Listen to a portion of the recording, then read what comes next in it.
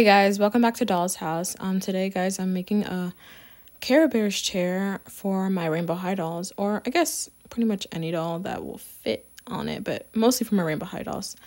So yeah, I was inspired by the Bratz chair that recently came out, as you can see in the back there, and I wanted to do something with the little um, plushies that Care Bears came out with, so I thought this was like a cool idea. So as you can see, I have some model magic that I got from Walmart and I'm just trying to form it into some type of chair. Um this chair is pretty much going to be like a nice like um what am I saying? It's a chair. It's going to be comfy for them, you know, and cute. So yeah.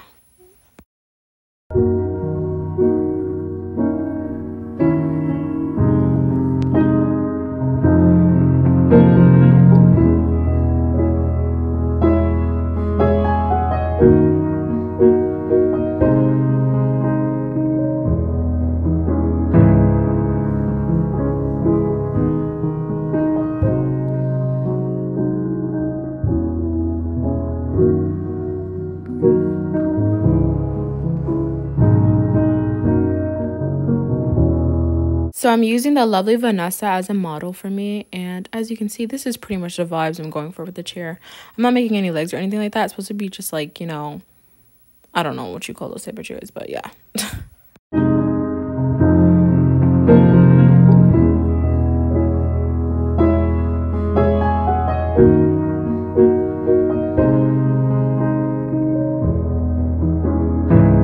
So I'm just hot gluing the um Care Bears onto the chair. I know, ouch for the Care Bear. That that really hurts. I know, I'm so sorry, Care Bears. But, like, I thought this would be so cute. So, yeah, I'm just hot gluing them onto the chair. And I'm just to do that all over.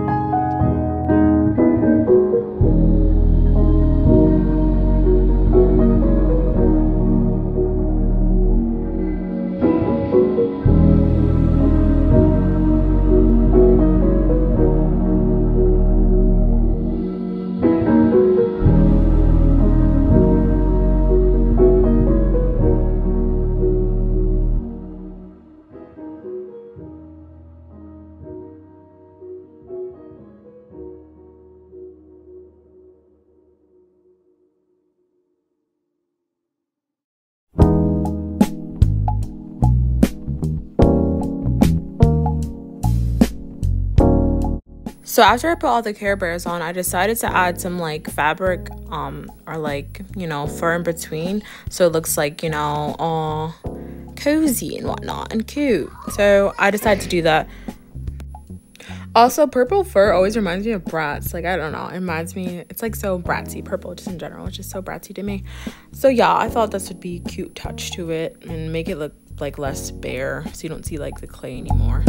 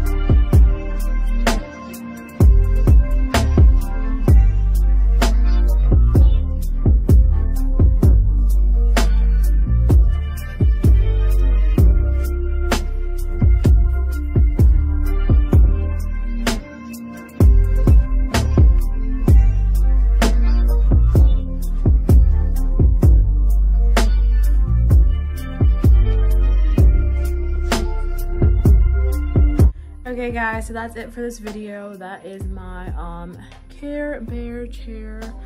Um, thank you guys for watching. I'll see you guys in the next one. Bye.